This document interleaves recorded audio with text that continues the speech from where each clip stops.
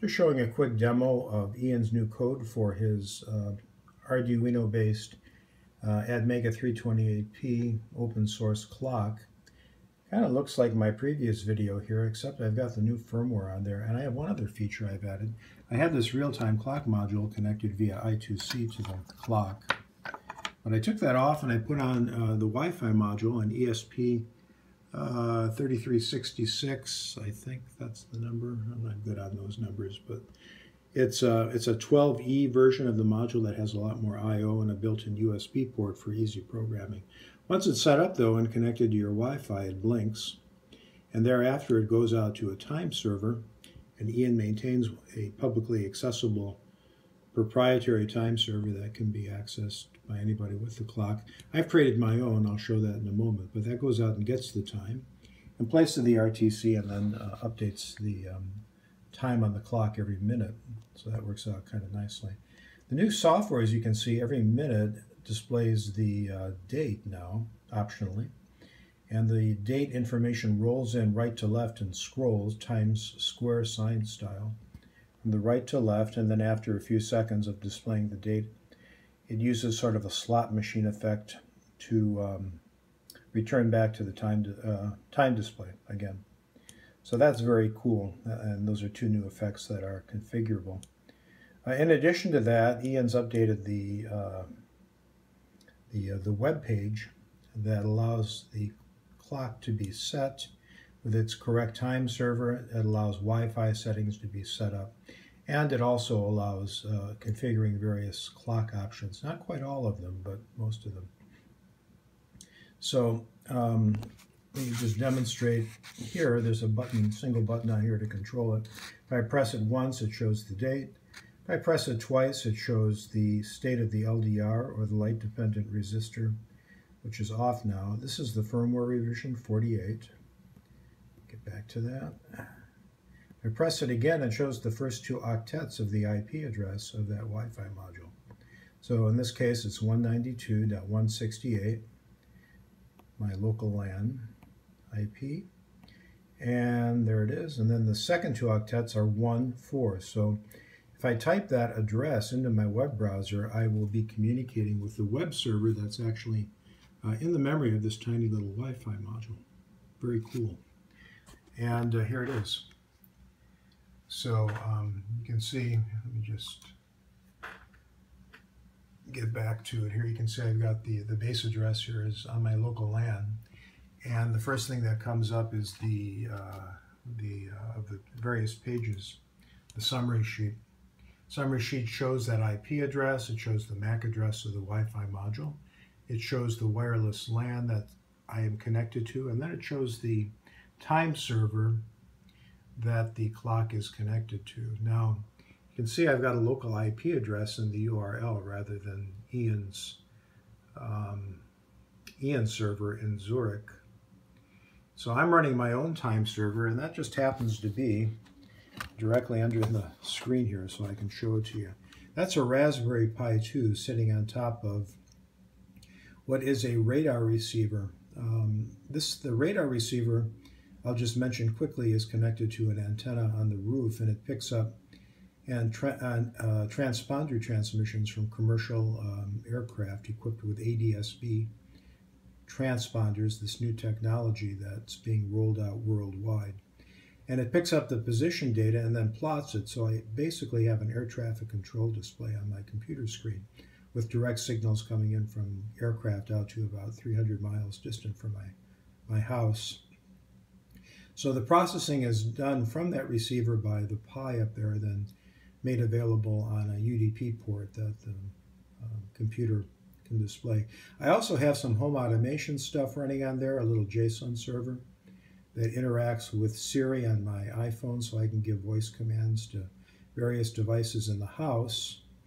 And I've just added an additional function or server onto that, which is the uh, time server function which has basically no overhead or no load on it. Now that unit, uh, the little Pi running a version of uh, Linux, is also disciplined by a local NTP server that's operating on my LAN that um, is used for a lightning detection network I'm a, a, part of, but it also has the side effect of providing local NTP services to all my devices. So that takes the NTP from the, my GPS upstairs into that box, Linux box, uh, picks it up here, sets the time on Linux, and then uh, the server software on the Pi picks that up and then sends it out to the clock every minute. So it's kind of indirect, but it works great. And the uh, time is quite accurate. I've got a second clock over here. This is a different design. I've had this about 12 years. Uh, it has a built-in, uh, well, built-in, it has a GPS board that I wired into it. An old Motorola cellular base station board. And that has a, uh, a GPS antenna on the windowsill here. And the time here always agrees with the, uh, the uh, server clock within about a second. So the processing delay is is visible, but it's not extreme. It never varies by more than about a quarter to a half a second. Uh, so it's quite accurate. It really works well. I did hack in a direct um, NTP service into this Wi-Fi module just for a, a proof of concept, and it works, but it makes the configuration a bit more problematic, and there's some delays while it syncs up to the NTP server because of the way the protocol works. So Ian's method is actually a lot faster, if, even if it requires a, a proprietary method to make it to make it work. Back on the software here, you can see on the top there's a configure time server, which I've already shown. That's where you would set it up. It takes a, uh, a two position or three position location argument, which again is nice. It calculates the offset for you. You don't have to enter that as a separate parameter as you would with NTP. Uh, wireless LAN settings, this just allows you to reset the uh, currently connected wireless LAN, which you never need to do once it's set up. And configure clock settings is the coolest part. We're running uh, 1.0.5 of the code, so it's got some additional functions that tie in with the version 48 features. So you can set 12, 24 hour mode. You can blank leading zeros. And uh, right now I have that on. Let me just show you. It's 9, 9 a.m. right now, thereabouts. And if I turn that off on the web server, you can see it popped up right here. I'll, um, I'll turn blanking back on, uh, set it, and the zero goes off. And you can set all sorts of other things. You can set the scroll back effect, which is that effect of tumbling back the digits from 9 to 0 at the end of a decade count.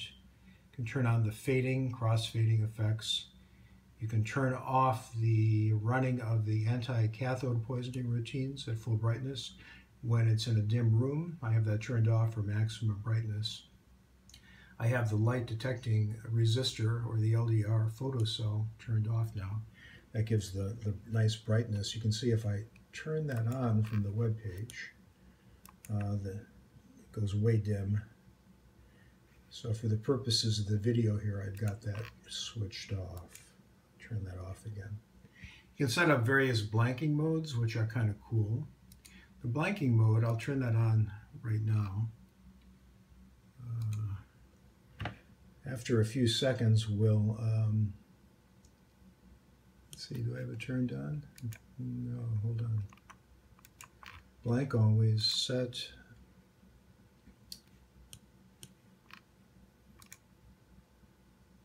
And uh, hmm, there, there we go.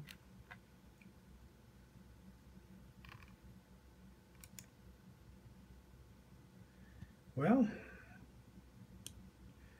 waiting for it to blank. Blank tubes and LEDs, blank always.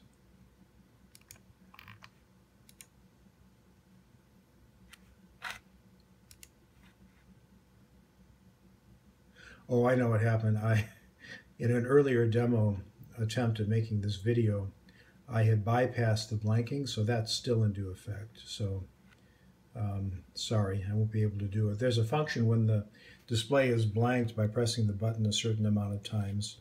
The first five seconds after the initial press, you can actually bypass the blanking.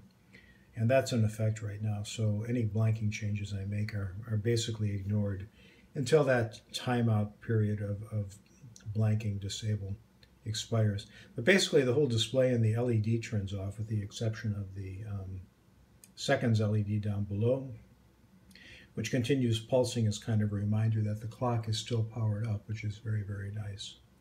So, um, very nice uh, additions that Ian's made. A bunch of bug cleanups in the code, which are appreciated. I do like the fact that it now cycles to the date automatically, and the new tumbling and scroll effects are quite nice. So, looking forward to seeing uh, some additional effects as they get added on. So, again, a very nice uh, integrated package with a lot of work on coding and hardware design by Ian. So many thanks for that, and uh, signing off.